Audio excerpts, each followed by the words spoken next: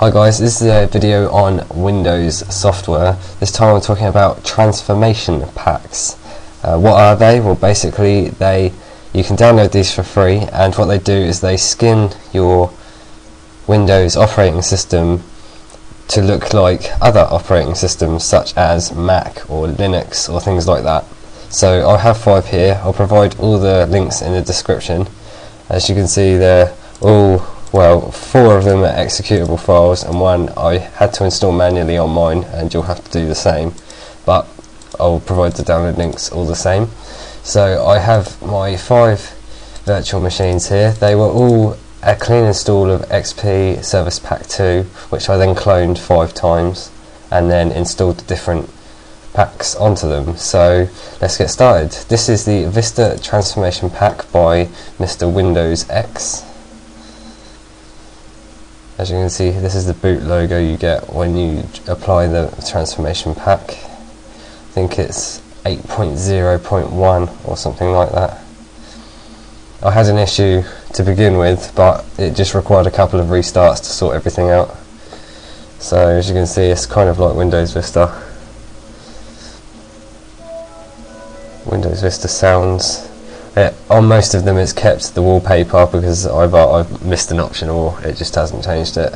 As you can see it's a Windows Vista style start menu. You're welcomed with a Vista style welcome center. So very very Vista like. So if we say do not show this after, we'll just so this you got it's just saying what the standard things uh, I'll go into properties and see if we've got a Vista screensaver. Yep. Oh, so if you can see that, kind of see the corner of it, but it's basically the same as Windows Vistas. And if we go in the Start menu, you can see, oh, you can see that it's see-through as well, and there's a search bar. So uh, Outlook. It actually searches for Outlook, so it's very good it works on looks of it so that's very good. If we go into Explorer just to see what Explorer looks like. This is what Explorer looks like. On C drive or something it shows you all the details down here instead of down the side so yes very good this is. So well done Mr Windows X.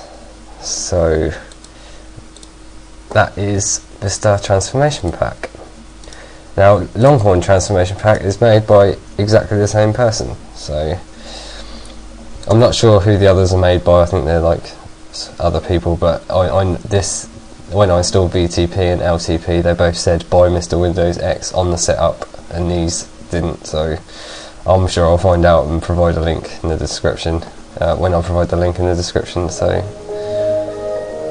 so this still has the same startup sounds as XP. You've got a sidebar here of different things. I keep getting errors coming up on XP, but these are just these are normal errors that came up just because I've got the VMware image or VMware thing in a small resolution. So this is Longhorn. Just going to go into my computer. There's not much modifications I can see that are major here. So on the C drive, it doesn't do anything anywhere. Add to properties. No, it just looks like a visual style. Do we have a screensaver? Yes, so I don't think we can preview it, you can quite see the corner of it. But yep, so we've got that, and I suppose uh, we've got lots and lots and lots of different styles for Longhorn XP. So this is about it. If I've missed anything, then please let me know in a in a comment. This is Fedora uh, transformation pack. Quite funky startup logo here. Fedora is loading. I noticed that this looks quite nice when it first starts. These have all got the same hardware, they're just cloned. So we've still got the uh, XP sounds with this, but you know, you'll notice that the icons have changed. So these are all for free and we click that you'll notice that we've still got a kind of start type as Windows. Click my computer you'll notice that basically the icons have changed. And you'll notice that I've also got is that a Vista style thing with a with a penguin in? That's interesting. Uh, can be a bit risky yep this is just normal things so. Do we have a wallpaper or a um, screensaver even? Oh this is interesting can you see it says display properties. This is actually transparent. That's that's very good. I like that. Okay well yep so you got that's the screensaver if you can see it. But yeah I'm very impressed by this. I'm sure if it yeah, works on everything as well. That's quite impressive. It's actually see-through a lot of people have tried to get this working on Vista to have it properly see-through so what else is down here? True transparency, so that's what, it must be using, true transparency, so leopard, Mac, things like that. And visual tooltips, so if you have something minimized, it shows you a pop-up of what it looks like. And also, uh, task switch XP, if we open up two of these, press, oh no, if we open up my documents or something, press Alt and Tab, you'll notice that it comes up in a different way. So that is, I like this transparency still, uh, that is the Fedora transformation pack. Now, OS X I had an issue with with the logon style, I had to do a system restore and then start again, but it, I've now got it working. I turned off the logon, it seems to be the logon that's having a problem. You know, so that faded in and now it's got the Apple logo.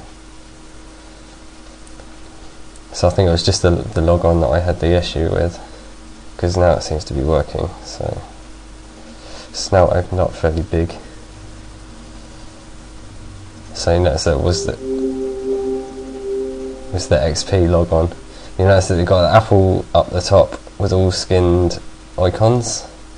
Click the apple logo you notice it's got the same uh, the same mouse as Mac has there's all different things here it's just an upside down version of the start menu if you go into my computer this is all skinned out to be like Mac, which is it looks quite nice actually, really. And you've of course got the menu down here, which is all not sure what this is used from. Looks like something like Rocket Dock or something like that. It's, perhaps it's their own one as part of the pack, but there you go. all the different things you can have on here.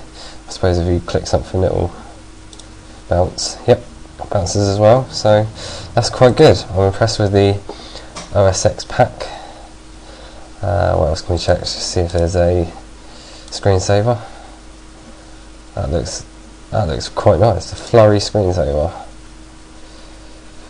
don't know if you can see that that looks quite nice. I think that's included in the Apple. So that is OS X last but not least Ubuntu which is what I had to do manually. It asked me to do something called find find indexer or something like that but I didn't do that. I just wanted to do the skin to show you what it looked like because I don't want to be mucking about with other things. So you see that the boot logo has changed for Windows XP they've made it more bright or something I'm not sure so and also the logon logo is different but you'll notice that the start bar is different. And also this is using the ClearLooks visual style because I knew that as I applied it and they've changed all the icons. But most of it's the same it just looks slightly different. So I had to I think I had to modify a couple of files or just alter the you can change this to blue so now when you go and you've got a GNOME thing down here click it and now it's all blue. But other than that I think it's the same. There isn't there's no extra screensaver here for for it. But it's all skinned out so if you want to do any of this sort of thing on your computer then all you have to do is download these transformation packs and they will modify your system for you if you want to have it looking like specific things like OS X and Linux. Uh, that's about it really, thanks for watching my video. These are five of the transformation packs. If there's any more then let me know. These are the ones I know of. I know I think there's another one, but I couldn't get that one working. I think it was Leopard Mods or something like that. I couldn't get that one working. So uh, again, thanks for watching my video, and please comment, rate, and subscribe.